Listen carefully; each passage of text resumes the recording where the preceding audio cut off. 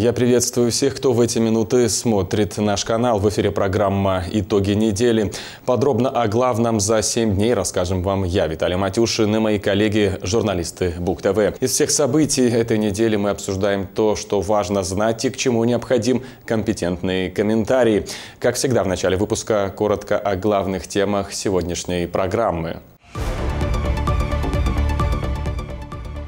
О планах, перспективах и потенциале. В областном центре состоялась встреча чрезвычайного и полномочного посла Монголии в Республике Беларусь Бацух Бояр Сайхана с губернатором региона Юрием Шулейко. Диалог о насущном. В Бресте с рабочим визитом находилась делегация из Пензы. В центре внимания знакомство с опытом работы структур ЖКХ основа и венец нашей веры – воскресение Христова. Православные христиане готовятся к празднованию Пасхи. Главное в ожидании праздника – подготовить душу, дать мыслям особый настрой, чтобы соборно всем миром встретить светлое воскресенье добрыми делами. В эфире программа «Итоги недели» и мы начинаем. Одним из приоритетов внешней политики нашей страны является курс на всестороннее развитие отношений с государствами Южной, Восточной и Юго-Восточной Азии. Неудивительно, ведь это перспективная и растущая рыночная площадка для экспорта белорусских товаров и услуг. Одним из дружественных государств, в сотрудничестве с которым наблюдается позитивная динамика, является Монголия. На текущей неделе ее чрезвычайный полномочный посол в Республике Беларусь Бацух Боярсайхан совершил свой свою первую рабочую поездку в Брестский регион. В рамках визита состоялось посещение производственного предприятия БРВ «Брест». Гость также побывал на святой земле Брестской крепости, но основным событием дня стала встреча с председателем Брестского областного исполнительного комитета Юрием Шулейко. Подробности в первом сюжете выпуска.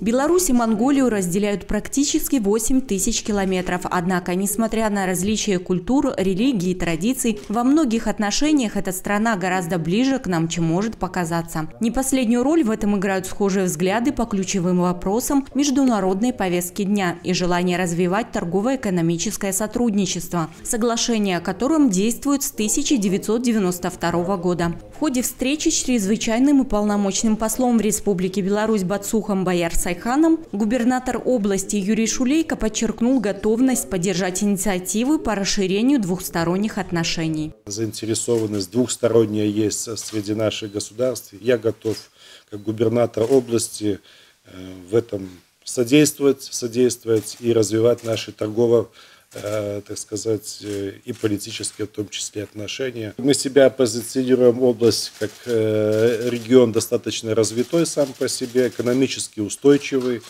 Мы производим четверть мясо-молочной продукции области.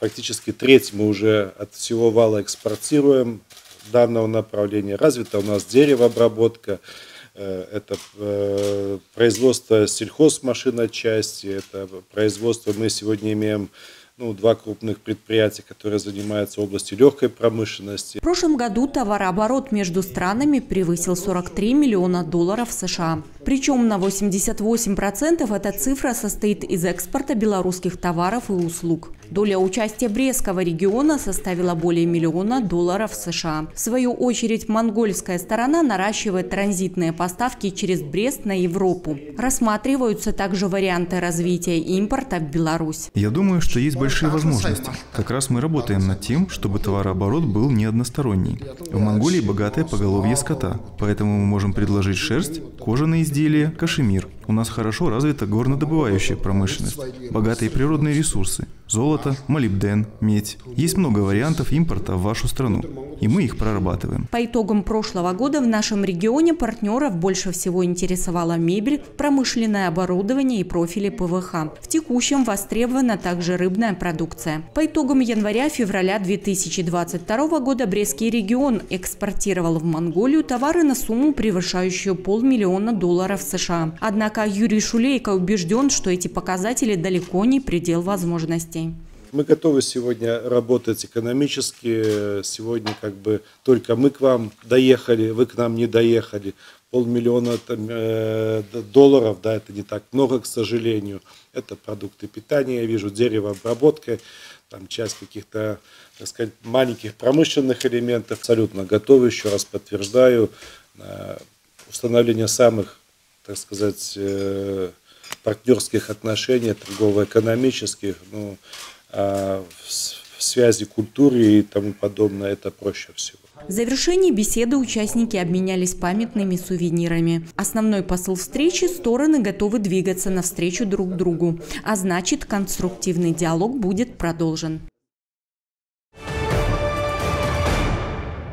Взаимоотношения между регионами России и Беларуси продолжают укрепляться. Причем это не столько заключение каких-либо партнерских соглашений, сколько работа на конкретных примерах и ситуациях. На протяжении нескольких дней в областном центре находилась делегация из Пензы.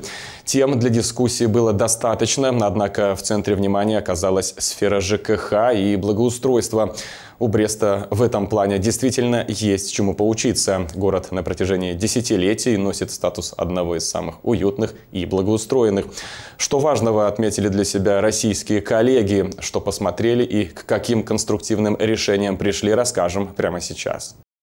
Старт большой рабочей встречи был дан в стенах городского исполнительного комитета. Здесь делегация во главе с мэром Пензы Александром Басенко встретилась с председателем Брестского горосполкома Александром Рогачуком, а также руководителями всех коммунальных служб города. Эта поездка стала продолжением деятельности рабочей группы по сотрудничеству Беларуси и Пензенской области. Центральная тема диалога – обмен опытом в сфере жилищно-коммунального хозяйства. Этими вопросами в российском регионе, в отличие от белорусов, в большей степени занимаются частные компании, но при этом ответственность за качество выполнения работ по-прежнему лежит на администрации города.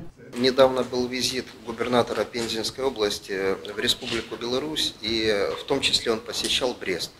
Ему очень понравился этот город, понравилась территория, состояние, в котором находится город, общественное пространство города, и поэтому для того, чтобы поделиться опытом, воспринять тот опыт, который есть у э, города Бреста по содержанию общественных территорий, э, Олег Владимирович принял решение направить э, нас сюда, чтобы мы посмотрели и восприняли все положительное, что есть у города. В большей степени этими вопросами занимаются частные компании, но при этом ответственность за качество выполнения работ э, лежит э, по-прежнему на администрации города. Поэтому поиск э, путей соприкосновения частного бизнеса и муниципального, муниципальных предприятий, вот это основная задача. Да, работа и административная принадлежность жилищно-коммунальных служб в областном центре организована в другом ракурсе. Однако, как отметил Александр Рогачук, в этой сфере нет идеальных схем деятельности. Главная задача в этой сфере – выработать максимально эффективную схему подчинения и сфер влияния, чтобы максимально сберечь бюджетную составляющую и при этом получить эффективный результат. Где-то они посмотрят с нашей системой ведения городского коммунального хозяйства, потому что идеальных схем э, управления городской территорией, наверное, не существует но надо стремиться к оптимальным каким-то форматам, к наименее затратным с точки зрения бюджетной нагрузки и наиболее эффективным с точки зрения результата. Поэтому я не сомневаюсь, что между коммунальными службами города Бреста и Пензы установится рабочее взаимодействие, которое будет на пользу и Пензы, и, естественно, города Бреста. Самое страшное в вопросах благоустройства развития города – это самоуспокоенность. Да, мы зеленый город, да, мы благоустроенный город, да, мы красивый город, да, мы получаем много комплиментов от гостей. И если мы на этом остановимся, город Брест остановится в развитии. Мы постепенно, медленно будем сразу же уходить назад. Поэтому поиск э, оптимальных вариантов благоустройства – это наша задача которая никогда не будет решена окончательно. Это перманентный процесс. То, что наш город действительно благоустроенный и чистый, гости оценили с первых минут своего визита. И это с учетом того, что пока в областном центре не полностью высажены зеленые насаждения и цветники, которые всегда готовятся заранее. Дополняют флористические концепции зеленые зоны, парки, скверы с лавочками и другими арт-объектами. Все это в том числе тема благоустройства и городского землепользования. Кстати, в 2022 в областном центре пройдет фестиваль «Город-сад», на который съедутся специалисты специалисты, ландшафтные дизайнеры и архитекторы со всей страны. Для участия в нем Александр Рогачук пригласил и пензенских делегатов. Как рассказал председатель горосполкома, в этой сфере уже активно ведутся работы. Уже сейчас просматриваются контуры интереснейшего мероприятия, которое состоится с 1 по 5 июня. И вот эти новые объекты, которые будут, они пусть не будут сверх э, напряженные, но это будут те фишечки маленькие городские, которые нашему городу будут придавать, опять же, определенный шарм. В том числе, возможно, что-то мы позаимствуем у той же Пензы. В год исторической памяти, а также в преддверии Дня Великой Победы российские делегаты не смогли обойти стороной еще один важный, правда, уже исторический объект – Брестскую крепость. К монументу от российских представителей легли цветы в знак скорби, уважения и памяти подвига, у событий которого нет срока давности. Продолжая тему белорусско-российского сотрудничества, стоит рассказать еще об одном проекте, старт которому был дан накануне. Апрель в целом знаковый месяц для тех, кто увлечен космосом и занят в его детальном исследовании. 12 апреля 1961 года с космодрома Байконур стартовал корабль, на борту которого была поистине легендарная личность Юрий Гагарин. Этот полет обозначил новый этап в истории космонавтики. Знаменательно, что именно в апреле, правда уже года текущего, в Бресте был дан старт новому молодежному проекту, объединяющему вокруг темы космоса увлеченных одаренных творчеством ребят. В областном центре открылась выставка детского рисунка юных дарований «Славные традиции истории братских народов России и Беларуси». Проект состоит из двух весьма интересных частей. Наши корреспонденты готовы рассказать все самое актуальное и важное. Один космонавт подвешивает рисунок невесомости, а второй на расстоянии значит, фотографируют. Портреты, пейзажи, символичные образы и прототипы реальных героев космонавтики. Такие разные, такие непохожие сюжеты детских рисунков объединяют любовь к своей родине и желание показать, насколько дружественны ее представители по отношению к другим. На базе художественного музея Брестской крепости в эти дни представлены самые яркие работы образовательного проекта «Славные традиции истории братских народов России и Беларуси». Все рисунки побывали в космосе и засняты в те редкие моменты, когда космонавты-исследователи могут воочию полюбоваться красотой земного земного шара. Главный посыл творческой идеи – вместе за мир и дружбу. Изюминка в том, друзья, что каждый рисунок сфотографирован на фоне планеты Земля и пристыкованных космических кораблей. Если вы внимательно э, посмотрите, то э, каждый снимок, да, каждый кадр, он э, разный. Космическая станция движется со скоростью 27-28 тысяч километров в час. И каждую секунду, если подвесить рисунок невесомости, то космической станции прилетает большое количество расстоянии, соответственно, планета Земля меняется. Но изюминка еще в том, что надо, надо сделать фото-видеоматериал рисунка именно тогда, когда э, Солнце находится сзади Международной космической станции и освещает планету Земля и пристыкованные космические корабли. Организаторами межрегионального многоэтапного конкурса являются представители военного клинического госпиталя имени Мандрика, Центра подготовки космонавтов имени Юрия Гагарина, Роскосмоса, Общественного центра гражданского военно-патриотического воспитания «Фрегат». В 2022 к ним присоединились специалисты Брестского горосполкома. В год исторической памяти объединяться и искать точки соприкосновения так важно. Все это открывает новые возможности для молодых ребят, для них будут открыты дороги везде, для них будут открываются новые дороги сейчас в творчество, и я уверен, что позднее многие из них выберут э, качестве своей будущей специальности, наверное, и полеты в космос. Это партнерство стало основанием для реализации еще одной задумки, чтобы в проекте смогли поучаствовать брестские школьники. Для них был объявлен свой внутренний конкурс рисунков. На участие отозвались более 200 юных дарований. Эти рисунки полетят в космос. Реально а, летом, когда космический корабль будет уходить в космос, да, то есть они будут на борту корабля, то есть они побывают в космосе, космонавты этот рисунок сфотографируют, то есть над Землей, да, то есть вот как вот мы видим, да, вот, и этот рисунок приблизительно мы где-то представляем так, что к следующему году, к дня ко дню Великой Победы он вернется в город Брест. То есть и это будет своеобразная история, то есть, да, семьи этого ребенка, который отправил в космос свой рисунок, да, то есть, ну, не каждый рисунок может побывать в космосе. Чтобы проект реализовался с пользой для участия в отборе работ для отправки на космическую станцию были приглашены художники, специалисты отдела культуры и дипломатической миссии, военнослужащие и, конечно же, дети, учащиеся школ города. Членам жюри пришлось непросто. Ребята представили разные техники исполнения, а разные жанры. Как итог, всего от города Бреста участие в очередном этапе проекта «Славные традиции истории братских народов России и Беларуси примут 20 рисунков. Они будут отправлены в страну-соседку, а уже летом увидят космос и станут частью большой международной инициативы. Вы смотрите программу «Итоги недели». Говорим об актуальном и важном. Великая Отечественная война и спустя больше 70 лет отзывается особым эхом в Республике Беларусь. И хотя прошло достаточно много времени, жители Синеокой до сих пор сохраняют память о страшных событиях 41-го и о фееричной победе 45-го. Война забрала жизнь каждого третьего белоруса. Нет такой семьи, которую бы не затронуло военное лихолетие. Именно поэтому и по сей день о подвигах защитников говорят. В рамках Года исторической памяти в областном центре проводятся различные встречи ветеранов с молодежью. Одна из них прошла на базе средней школы номер 19 города Бреста.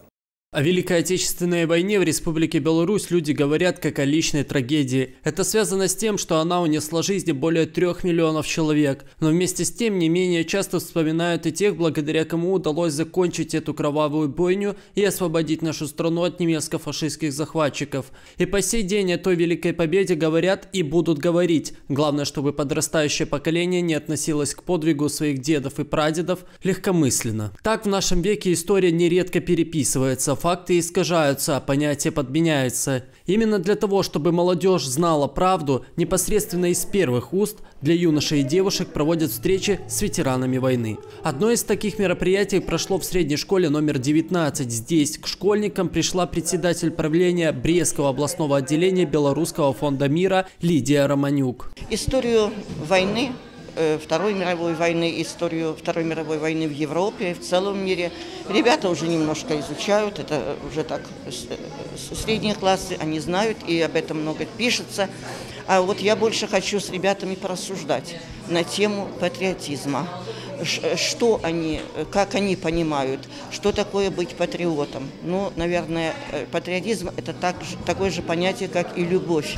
Если ты любишь свою страну, свою семью, э, общество, в котором ты живешь, если ты уважаешь традиции этого общества, если ты знаешь историю, э, то есть оно тебе становится родным. В течение всей истории человечества именно патриотизм заставлял людей объединяться и защищать свою землю до последней капли крови. Это сакральное слово заставляет верить в свои убеждения. Отражение патриотизма можно найти в книгах, фильмах, а также памятниках и мемориалах. В городе над Бугом главный монумент победы и самоотверженности людей – Брестская крепость-герой. И никто не может оспорить, что она и является главным синонимом слова «патриот». Молодое поколение белорусов с интересом изучает историю подвига нашей страны в годы Великой Отечественной войны и испытывают гордость за то, что живет на героической земле. Каждый находит что-то интересное для себя и с интересом слушает ветеранов.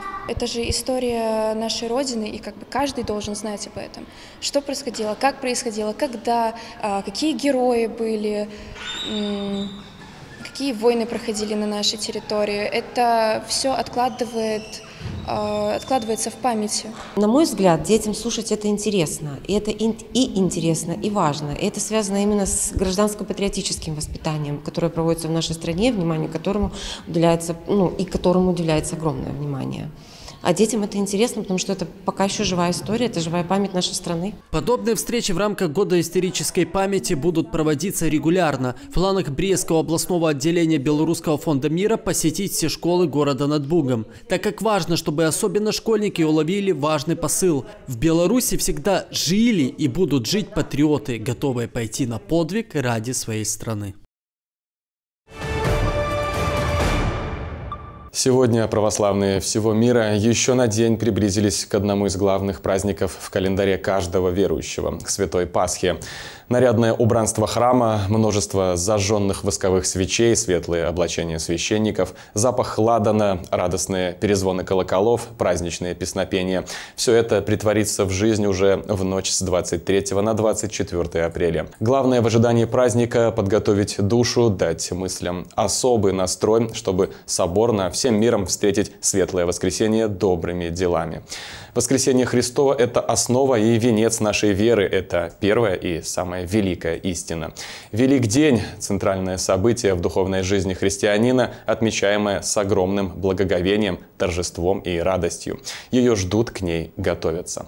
Пасха – это время покоя и ожидания пасхальных торжеств. Что ждут брещане от этого дня и как готовились, Людмила Лагодич побывала сегодня в Свято-Симеоновском соборе и узнала у прихожан. Свято-Симеоновский кафедральный собор каждый год внешне преображается к самому главному празднику Пасхи. Уже накануне в Великую Субботу в его убранстве появляется множество прекрасных благоухающих цветов. Но главное преображение, которое должно произойти после Великого Поста, внутреннее. И заключается оно в очищении человеческой души. Великий пост я стараюсь почти каждую неделю ходить к причастию.